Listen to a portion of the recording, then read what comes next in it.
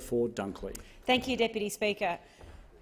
It is almost beyond comment that we have an Attorney-General today supporting an inquiry into class actions with an argument that somehow seemed to be about parliamentary scrutiny and integrity when the manager of opposition business had to stand up and correct the record because the same Attorney-General misrepresented him in the parliament. It's galling. And if it didn't happen in front of all of us today, I'm not sure any of us would believe that anyone would have the gall to even act in that matter. And if the Australian people want to know why class actions matter, I'll give them one word — asbestos. How many Australians had to suffer with mesothelioma? How many Australians didn't have anywhere near the financial resources to be able to, on their own, take on the giants, take on the giant legal firms, let alone the manufacturers of asbestos, and couldn't have done it without a class action. No, and I'm proud to be on this side of the parliament and to be part of a party of people that stand up for those that need and have a history of standing up for people that need to be represented. If this government actually cared about some reforms to the legal sector, if this government cared about a legal sector that looked after vulnerable people the most, Instead of taking up time today with this ridiculous motion and a pretence of caring about parliamentary scrutiny, they'd spend a lot more time working out how to give greater systemic support to community legal centres and legal aid centres across Australia.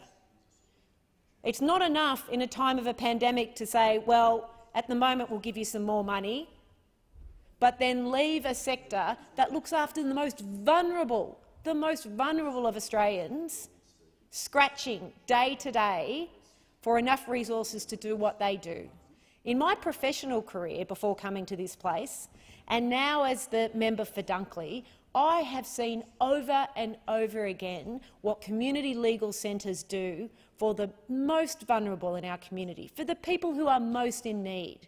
If we want to talk about doing something really important during this pandemic, which will contribute to an Australia that is better at looking after those most vulnerable once we're through it, we should be looking at how we can give long-term support to community legal centres like the Peninsula Community Legal Centre, which has continued to work and continued to work outstandingly long hours to support people in Frankston and the broader Bayside and Peninsula area when they've been stuck at home with partners who were violent and little to no opportunity to get out and little to no opportunity to get advice about their legal rights because of the social restrictions.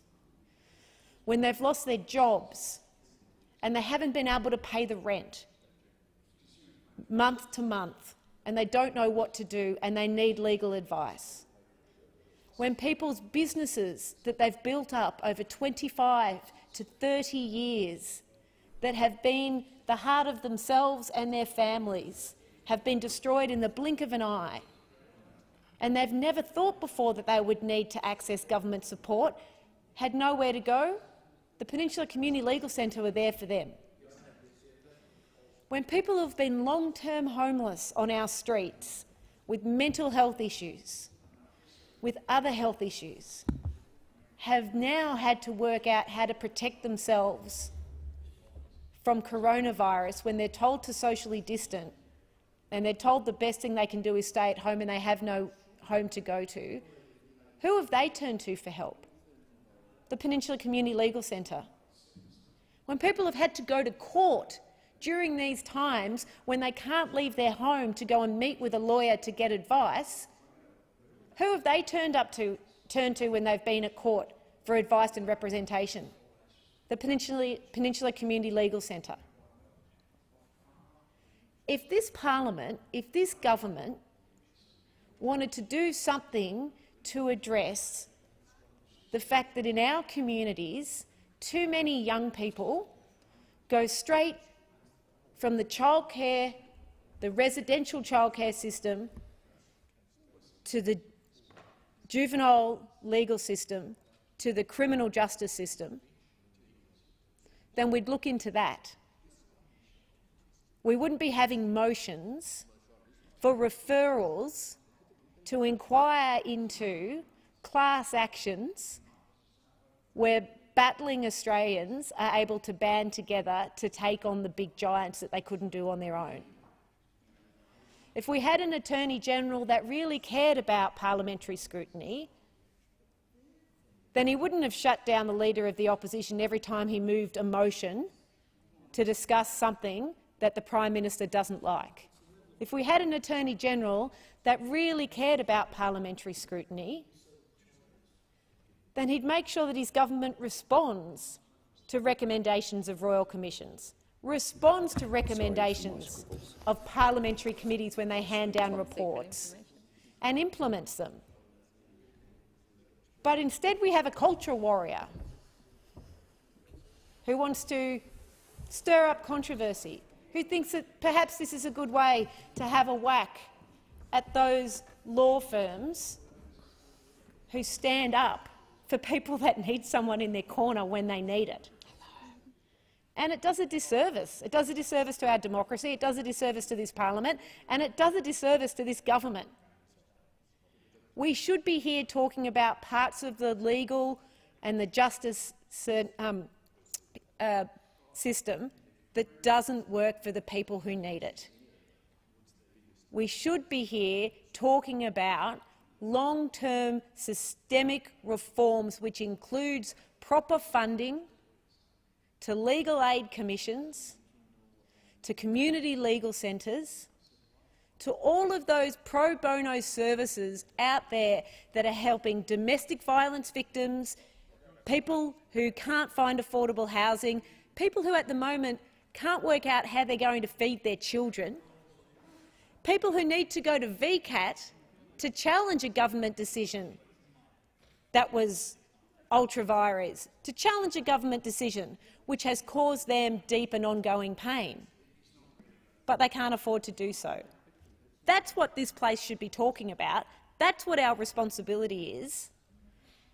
And it should be to the never-ending shame of the current Attorney-General that that's not what his focus is all the time, let alone now when all of those issues aren't bubbling below the surface, they're on top of the surface. When all of those issues aren't just the sort of communities that Labor people represent who have long-term and systemic disadvantage, well, all of those issues are being faced by people who never thought that they would face them in their lifetimes. Everyone should be equal before the law, but we know that the law doesn't always treat people equally. And we cannot have a system where people who have money and resources get the benefits of a legal system and people who don't have money and don't have resources don't. That's why we have class actions. That's why we have community legal centres. That's why we have legal aid commissions. And that's what we in this place should be looking at to support.